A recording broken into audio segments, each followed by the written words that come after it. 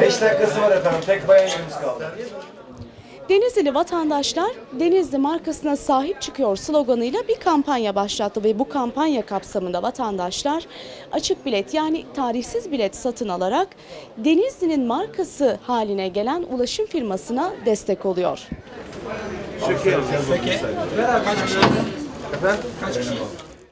Denizli'nin markası Pamukkale Turizm, yaşanan ekonomik kriz nedeniyle konkordato ilan etmişti. 3 aylık geçici sürenin ardından da 57 yıllık ulaşım şirketiyle ilgili İzmir Ticaret Mahkemesi iflas kararı vermişti.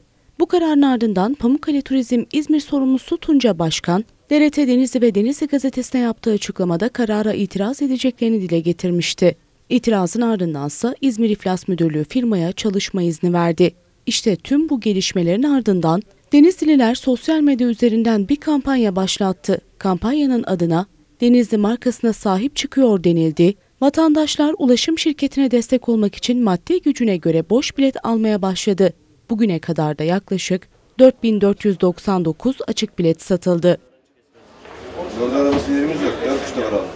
Pamukkale Turizm 5. Bölge Bölge Müdürü Ali Yılmazer, vatandaşlar tarafından başlatılan kampanya ile ilgili açıklama yaptı. Tabii bu şirketimizin dışında vatandaşlarımızın kendi çabalarıyla gerçekleşmiş bir duruma tamamen bizim dışımızda gelişen bir olay.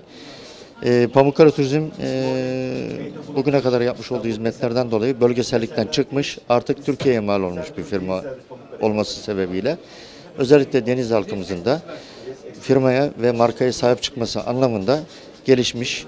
E, sosyal medyada da bunun e, bağlantıları kurularak halkımız tarafından uygulamaya konulan bir durum söz konusu. Yani bizim dışımızda gelişen bir olaydır bu yani. Yılmazer, kampanya kapsamında yakın zaman içinde satışı yapılan açık bilet sayısıyla ilgili de bilgi verdi. E, Şu an itibariyle 2000 civarında yani bu bizim e, olayımız açıklandıktan sonra 2000 üzerinde e, açık bilet satın almıştır. Öte yandan vatandaşlar tarafından başlatılan kampanyaya destek çığ gibi büyümeye devam ediyor.